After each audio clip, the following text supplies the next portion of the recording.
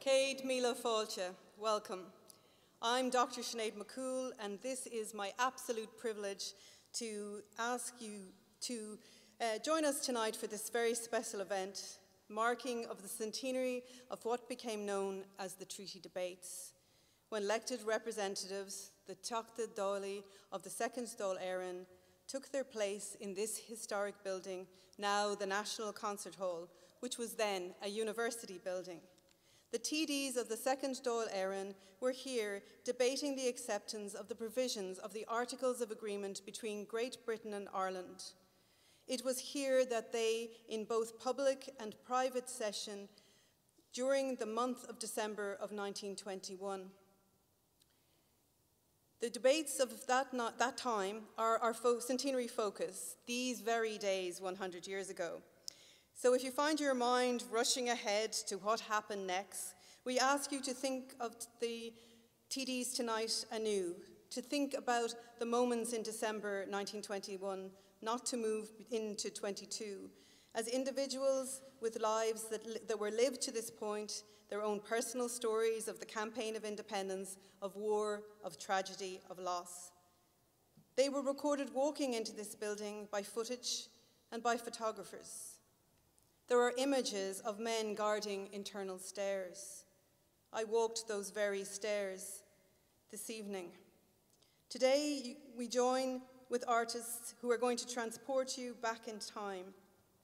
In preparation for these events, these artists, songwriters, folk singers, balladeers, musicians read widely.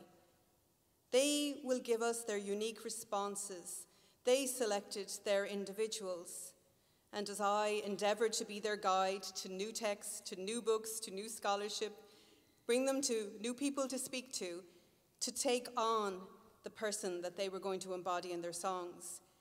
You will hear that they drew on their own interests, their own places, their own kinship, their education, and yet they did, they read those debates.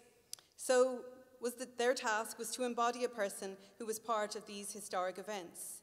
And so, with this decade of centenary, their writing centered on original source material, the voices of the people themselves.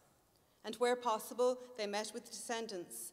They discussed with the, the descendants their knowledge of past generations, how they brought those memories from generation to generation, and how those descendants had analysis of their own people, those people who inadvertently became history makers. We know how the songs of the commemoration of 1798 became so important to the next generation. So too we work in Ireland's long tradition of song written of those events of Irish history. These artists selected well-known and some less well-known people from a list of over 100. They took events and moments and made them their own. As you will see, they become embedded in their songs under their own creative control.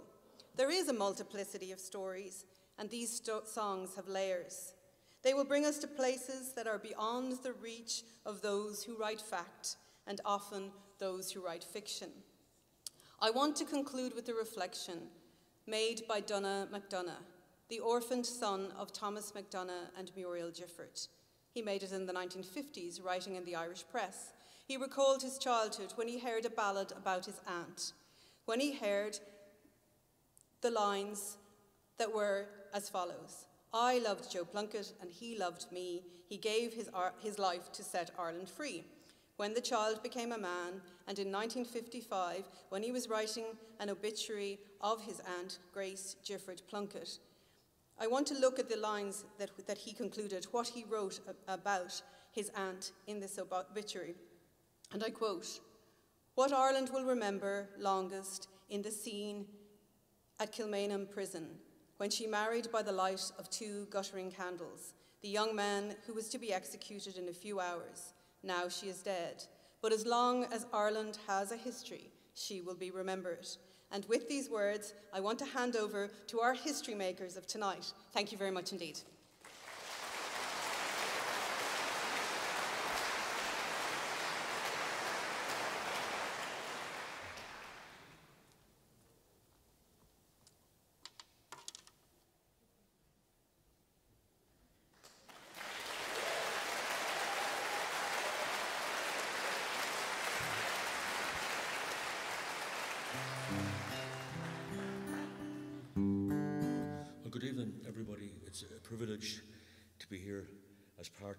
Evening's collective songs, treaty songs. Uh, this first song tonight, I first heard it in 1966 in London, and uh, I got a small red book which was published by the London Workers' Cooperative. I learned the song from it, and it's been in my head ever since, all across the years. And it was only this year I discovered that the song was written by Patrick Galvin, the poet, songwriter, and playwright of Cork, who lived from 1923 to 2011. He wrote a lot of wonderful songs, wonderful poetry, songs for a raggy boy, and I sing the song now and dedicate it to the memory of Patrick Galvin. I went to see David, to London to see David. I went to see David, and what did he do? He gave me a free state, a nice little free state, tied on to the empire with red, white, and blue. Well, I brought it to Dublin to show to Éireann. I brought it to Dublin, and what did they do? They asked me what kind of the thing was a free state, tied on to the empire with red, white, and blue. Three quarters of Ireland, a nation, I told them, tied on to the empire like gum to a shoe. An oath we must swear to King George and Queen Mary, an oath we must swear to our son-in-law new. Oh, well, I teach them their Irish, and I paint their letter boxes all over in green, and what more can I do?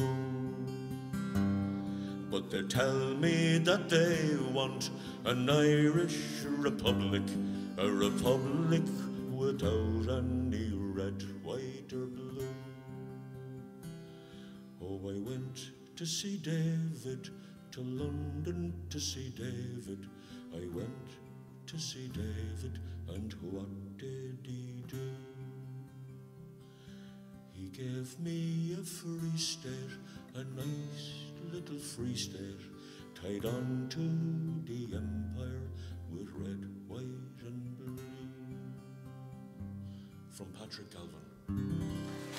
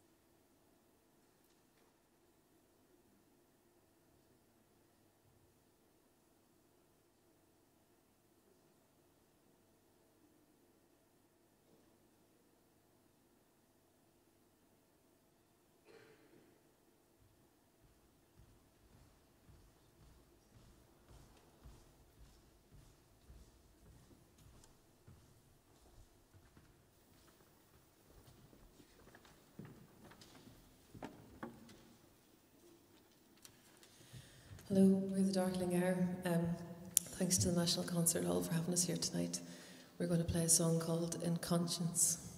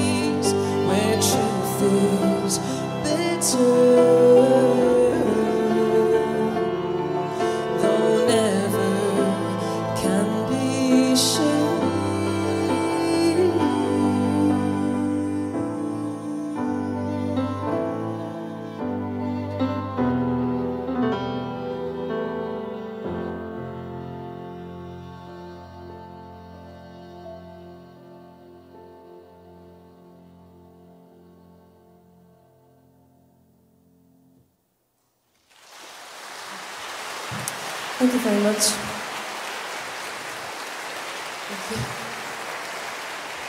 Would you please welcome on stage the wonderful Duke Special with May Kay and the Crash Ensemble.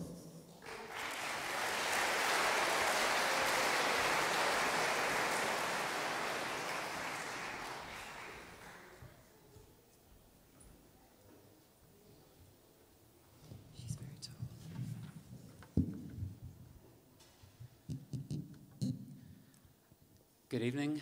Um, it's such an honour to be part of um, the proceedings tonight. Um, when I was asked to, to choose a character from the, uh, a person from the um, uh, treaty negotiations, I was drawn to a man who um, seemed full of contradictions and complexity. And uh, living in Belfast, that somehow resonated with me for some reason.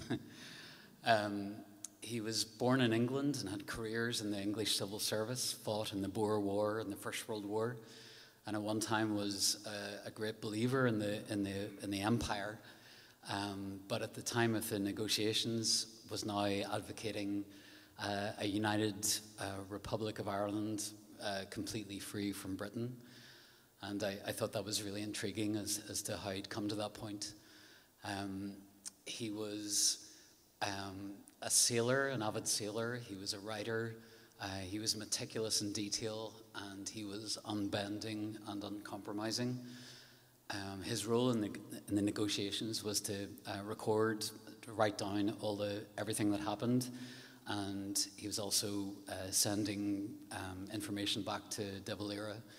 Uh, but I didn't write about any of that actually. Um, despite uh, uh, Dr. Sinead's instructions, I did dip into 1922, and uh, almost a year later, um, he was arrested and found guilty of uh, legal possession of a weapon. And the night before he was due to be executed, his 16 year old son had five minutes to visit him. And during that, time, that very short visit, uh, he instructed his son, made him promise uh, that he would go around and shake the hand of every person that signed his, his death warrant. And I couldn't shake that, it stayed with me. Um, and his reason for doing that was to, uh, in some way, heal the scars of the Civil War. And I had the opportunity uh, to talk to his great grandson, also called Erskine Childers, who the song is about. And um, we spoke about the preservation of that name that was handed on and handed on and handed on, and also the great weight uh, of carrying that name.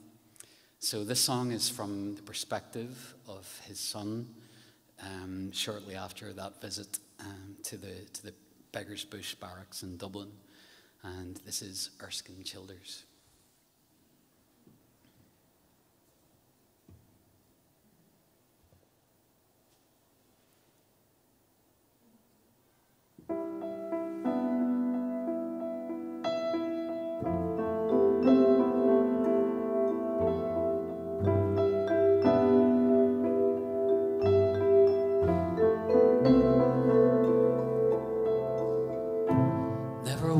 For the harbor, you were born for the sea. With a thirst for adventure, Cuxhaven, Gallipoli, sailing out to the edges, whatever the storm. Chasing your destiny.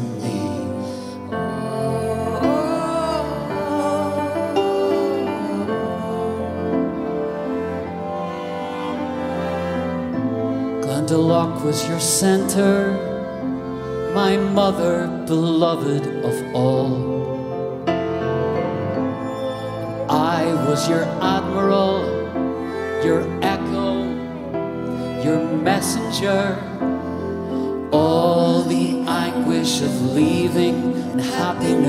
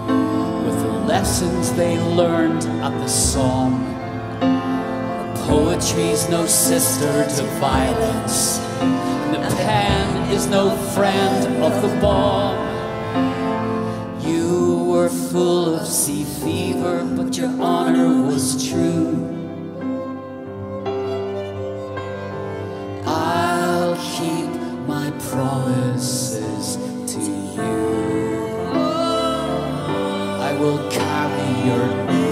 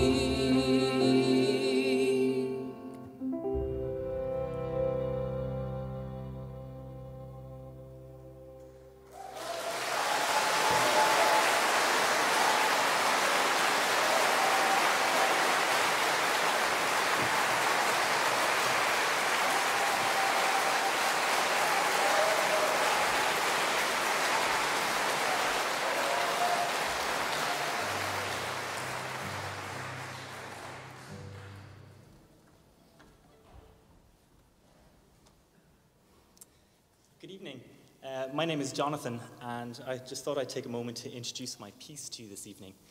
Um, my work is purely instrumental, and so there's no singer involved, and so no lyrics around which to weave a narrative. Um, it was a real privilege to be invited to take part this evening, but I realized very early on that I had to abandon the idea really of focusing on one individual. Um, how would you, the audience, for instance, know that the violin represented some personality trait, and, or what would that even sound like musically? And so I decided I had to step back a little bit and actually take a look at the wider picture. And so the individuals that came together to debate the treaties, they came from all over the country and from all walks of life. And each one of those people had an idea of what our country should be, what our country could be.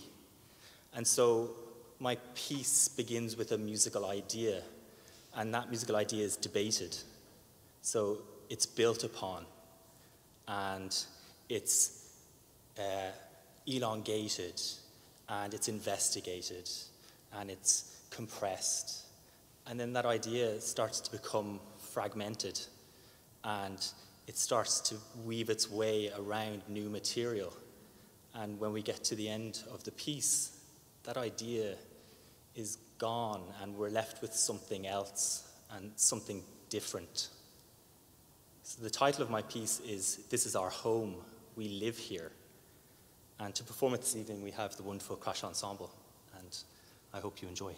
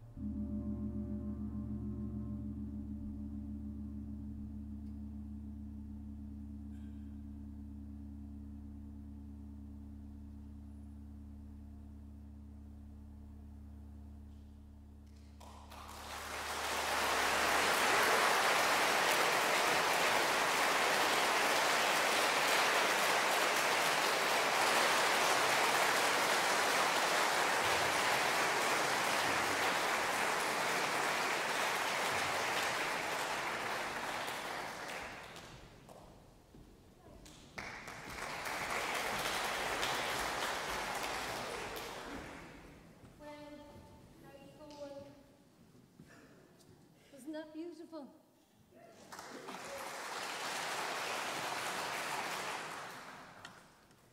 Um, I'm Karan Casey, and um, I'm going to uh, sing uh, a few songs about this amazing woman. I brought my book out. Kathleen Clarke, there she blows. Um, an incredible uh, woman. I've really enjoyed uh, learning all about her.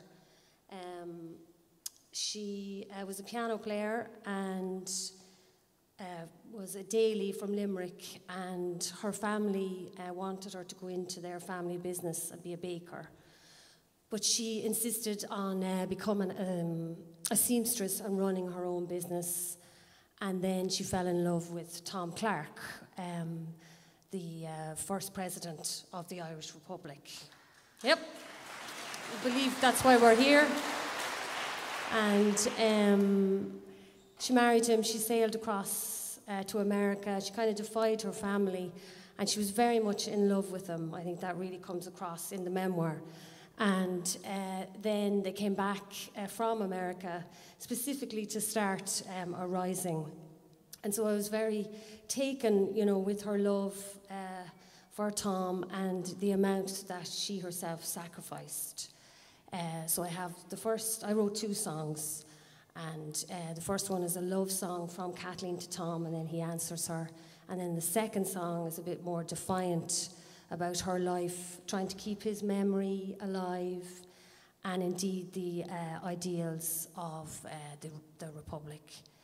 And um, she was uh, extraordinary. She tried to stay in public life, even though um, many of the men um, in what today would be Fine Gael and Fianna Fáil tried to get rid of her and push her to the side, but she insisted on staying and being in public life, and she was the first mayor of uh, Dublin. So I could. It's very hard now to get all that into the two songs. we could be here for the for the night. Um, I've loads more to tell you, but I probably should sing the songs. But I do want to thank a couple of uh, people. I want to thank Sinead McCoole, who I think is just an extraordinary woman, and.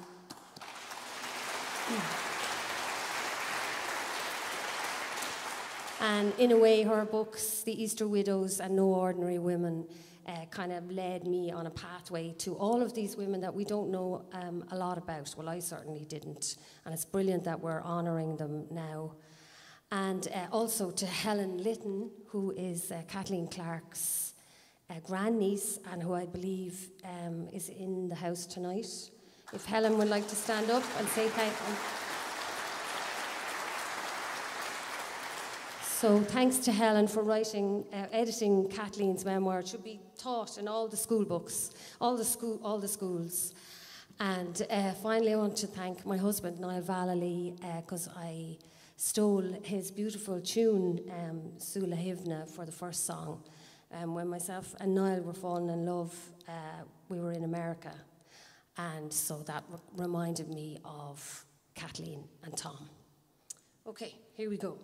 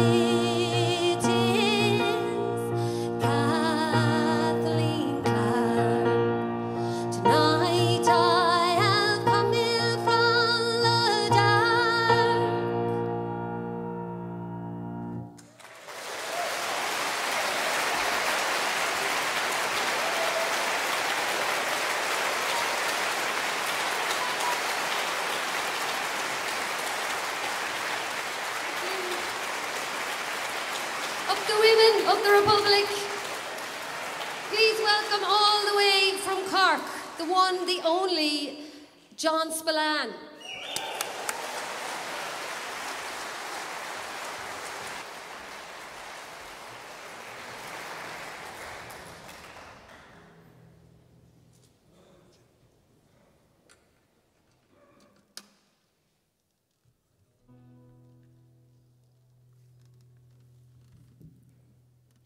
Kesht na Tiongan, the soul of Ireland.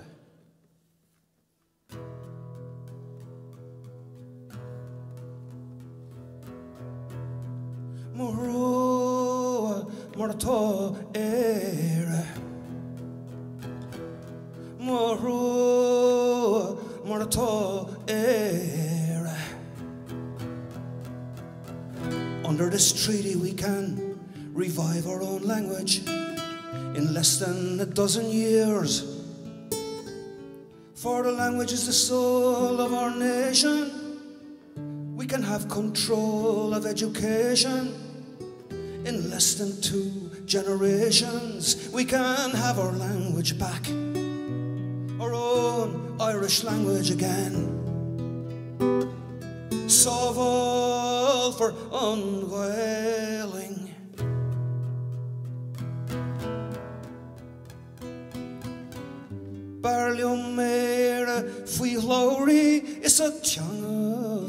Fenike.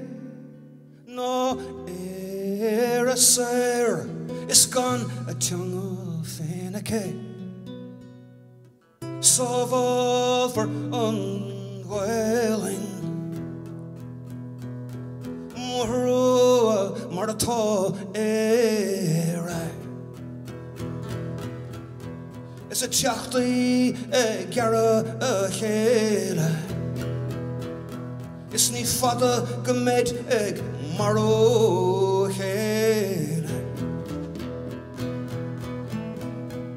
A hín chóirle is a loch na dála, Ba bhailm gailing a láirtansa, ach níl mór an gailing sa dáil seo.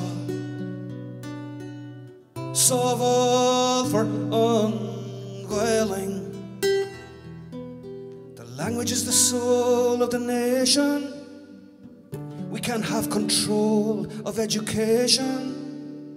In less than two generations, we can have our language back, our own Irish language again. Soval for unwilling. Tír Tir gan tianga, tir gan anam, tir gan tianga, tir gan anam.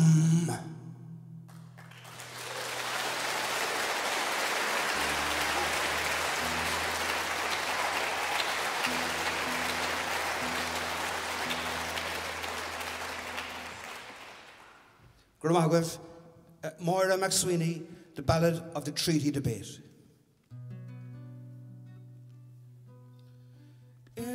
Heart of Dublin City, where the ancient spirits sing, down around the concert hall, the ghost voices ring. December 1921, under a war weary, weak winter sun. The second Dáil is meeting to decide our nation's fate. The guns have fallen silent for the treaty debate. My name, it is Moira MacSwiney, and I beg you, throw out that treaty. Throw out that treaty, do not commit the one unforgivable crime.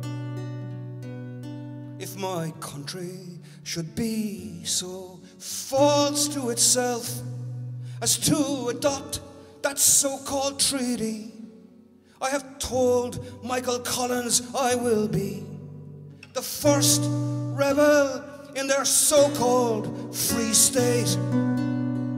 My name, it is Moira MacSwiney, and I beg you, throw out that treaty, throw out that treaty, do not commit the one unforgivable crime.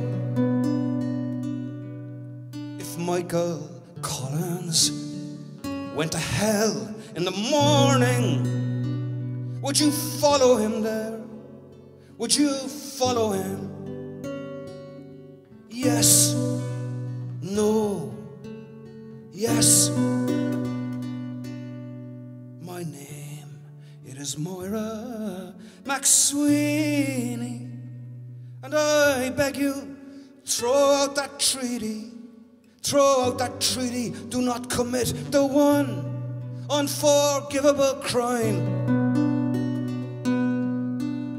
What I went through for 74 days in Brixton prison gives me the right to speak for the honor of my nation. My name, it is Moira MacSwiney, and I beg you, throw out that treaty, throw out that treaty, do not commit the one unforgivable crime. You will have your Union Jack, your God save the King. We will all be British citizens. I fear for the honor of my country. My name, it is Moira MacSwiney, and I beg you, throw out that treaty. Throw out that treaty, do not commit the one unforgivable crime.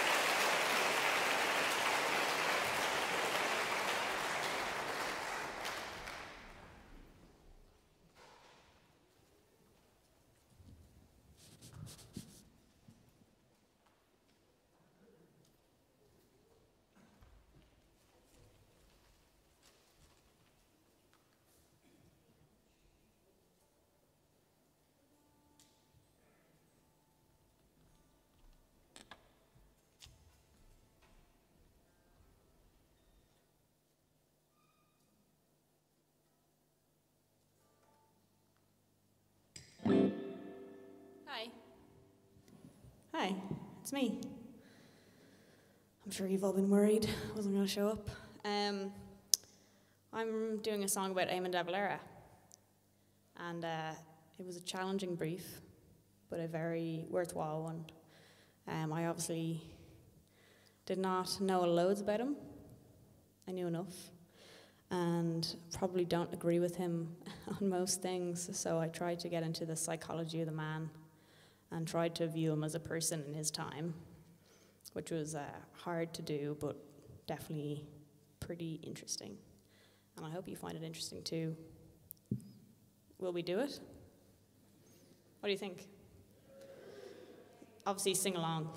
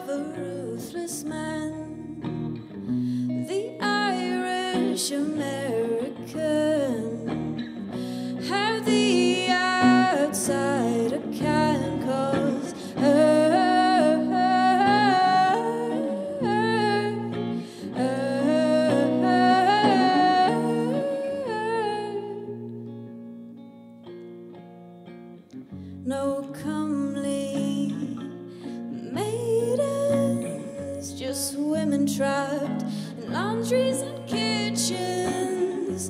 The Ireland that you dreamed of, and the one that you delivered onto the church straight from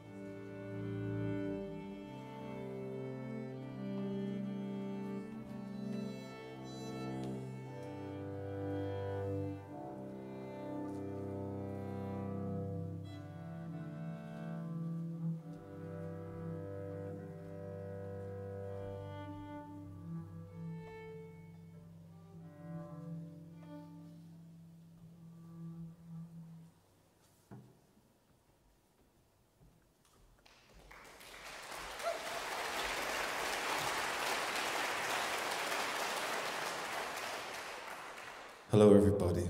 I hope you're enjoying yourselves. Um, I'm Adrian Crowley. I thought I'd explain a little bit about the song that I wrote for you tonight and also talk about this woman standing on my left and on my right. I went into the Iveagh Gardens earlier on, made some notes, just so I might talk about a few things. Um, so, it was a spring day in 1919.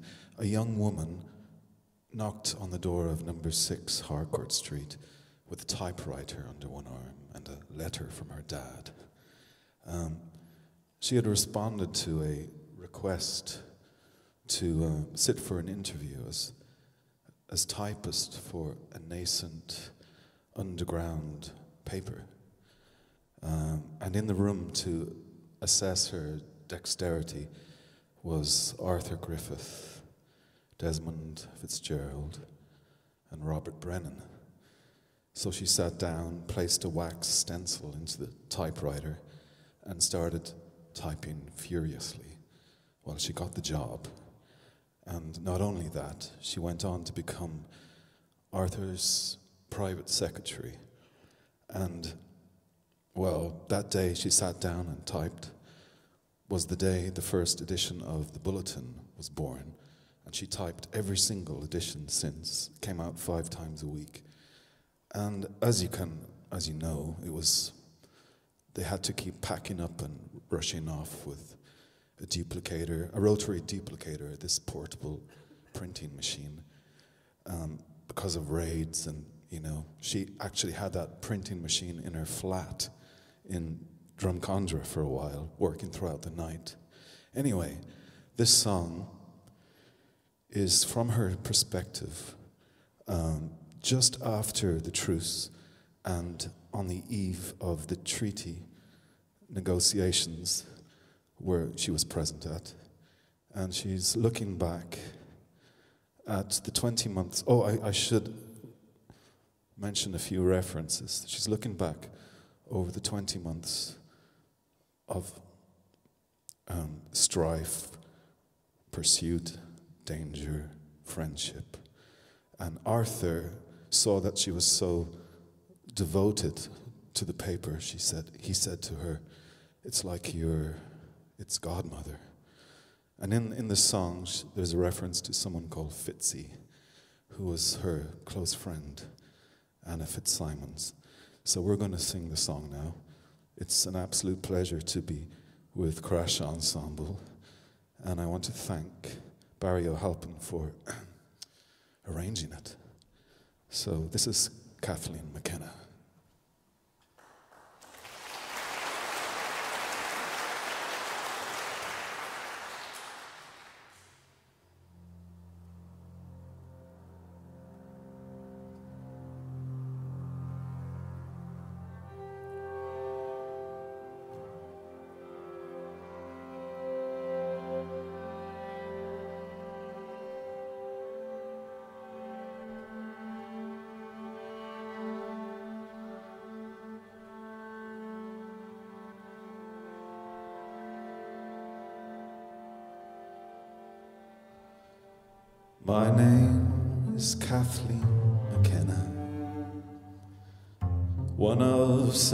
Children, daughter of a merchant draper, cut from proud green cloth, and it's off I took to Dublin for a secret post at the bulletin as clandestine typist. They put my skills to the test. Three pairs of critical eyes fixed on my fingers as they danced unerringly over the keys of my typewriter. My name is Kathleen McKenna, the eldest of seven children. daughter of a munitions factory worker with the fierce heart of a fighter, of a fighter.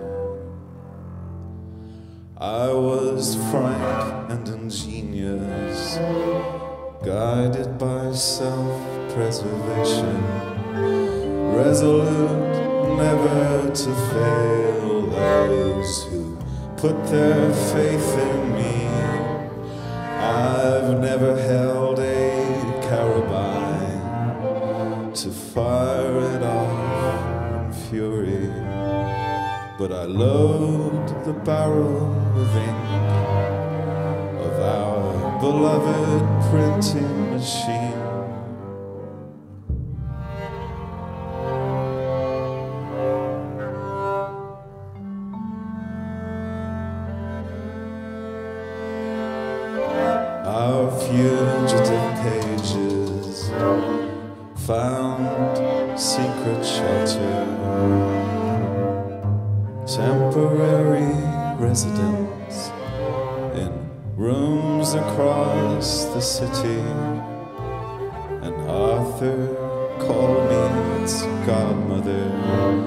Fitzgerald his own right hand.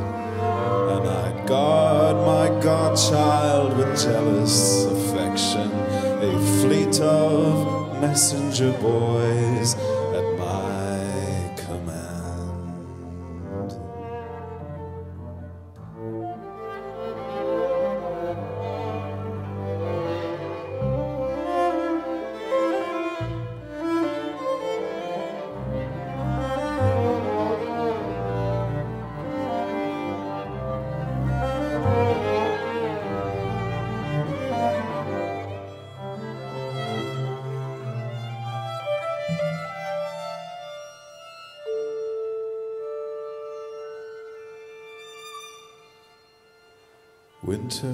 we spent in Molesworth Street with no one to light the fire. The caretaker was a stranger and so could not be trusted. So Fitzy and I, the two of us, were obliged to line our stockings with blotting paper to keep ourselves warm and dry with searchlights on the windows and prowlers in the neighborhood. I was advised to hop while the hopping was good. No pity for them for trying to hound us from our den. For never once did we falter to pin our words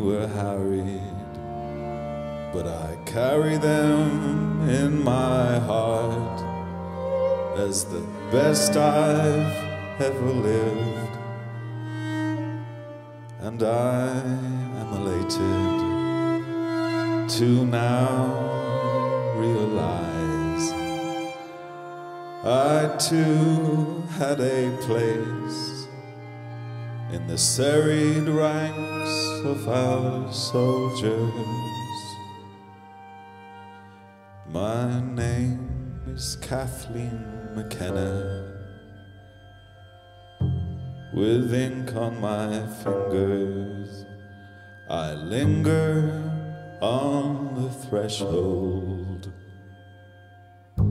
and wave goodbye to my godchild.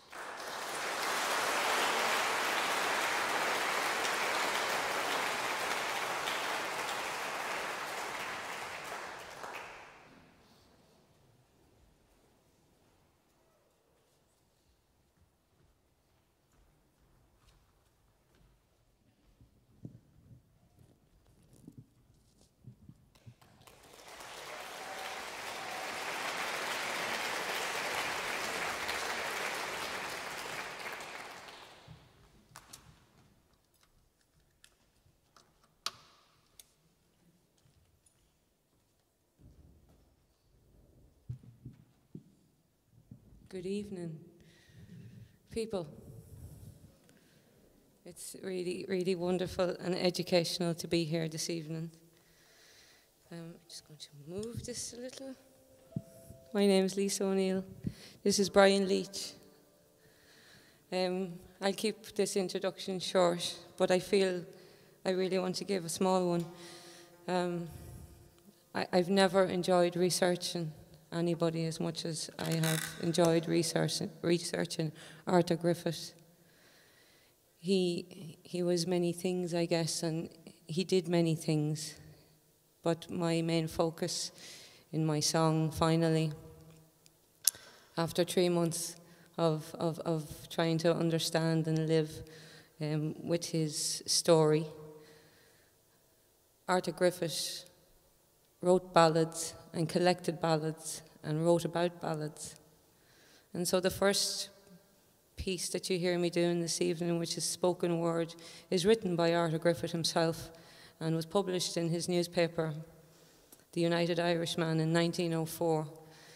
And it's his take on what the ballad means to the people from baby up until old age, until it's nearly over. And I think that he had a great understanding of human beings and uh, psychology and you know what is how powerful a song is to us in our lifetime and how powerful the ballad is how it can change us and how we need it at different points in our life to remember things. And it lives after us. So right on, up until i speak the word nation they are arthur griffith's words and then after that we take it away into my reaction my song. And I call this Salutations.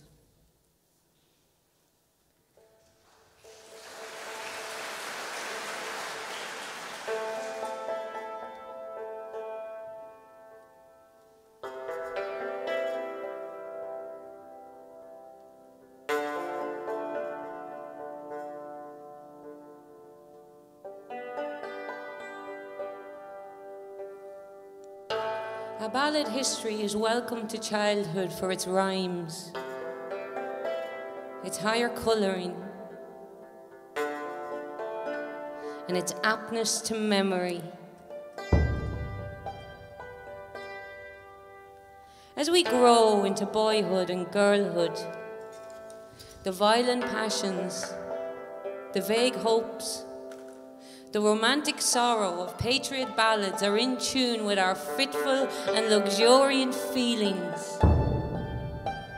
In adulthood, we prize the dense narrative, the grave firmness, the critical and political way of ballads.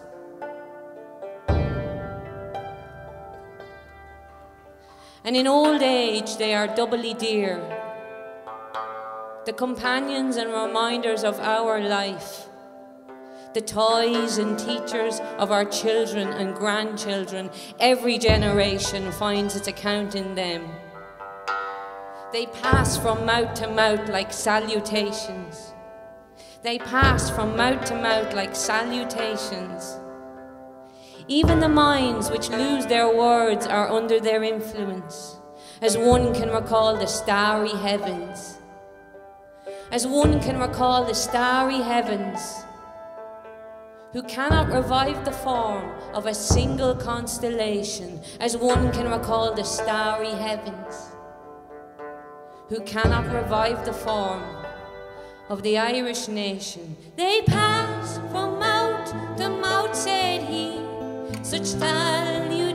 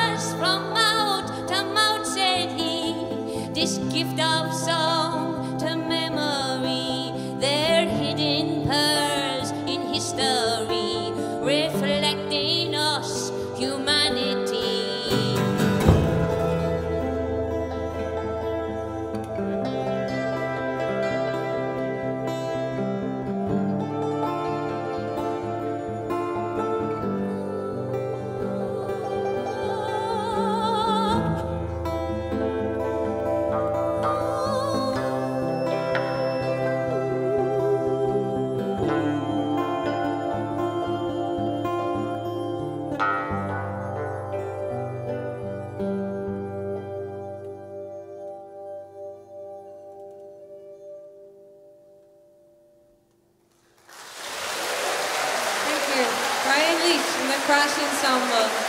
Thank you.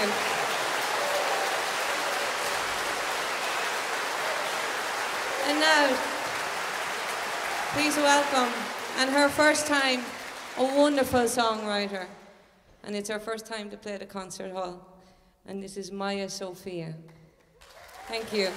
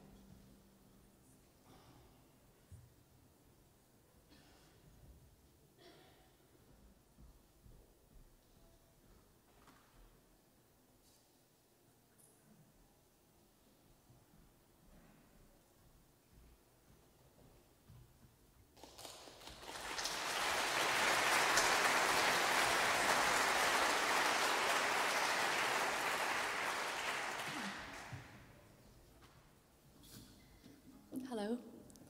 Um, so I chose to write a song about um, Countess Markievicz um, because I, I mean, she's just an incredible character, and um, the text that the lyrics are taken from were well, there's two main texts, mostly the letters she wrote from prison to her sister Eva Gore Booth who was also an incredible revolutionary. And then the speech that she made, in which she was virulently anti treaty because she was essentially a socialist and she felt that accepting the terms of the treaty as it was offered um, was just a repetition of more of the same inequality. So she was very ardently against that. And I'm very honoured to be joined by the amazing Maeve McKenna on harp, who we just discovered is related to Kathleen McKenna, who was the subject of Adrian Crowley's amazing song. So that's extra special. um, and yeah, it's, um, it's a real privilege to be here. So thank you so much.